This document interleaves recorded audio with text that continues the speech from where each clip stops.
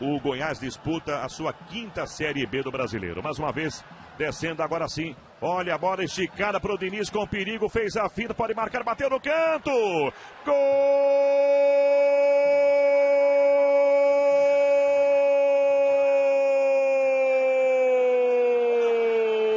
do Goiás. Diniz na bola esticada para o Diniz. Ele fez uma boa jogada, fez a alegria da galera do Goiás aqui no estádio Fumeirão em Arapiraca. Ele fez uma jogada bonita, fintou bem.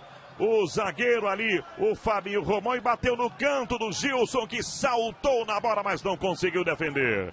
Agora, Goiás na frente. Um para o time esmeraldino, zero para o Asa em Arapiraca. Bola trabalhada com o Chiquinho, virou pro Alexandro. Ele pode tentar, observou Niel, cruzou com perigo, a chance do gol, a bola vai sair. Gol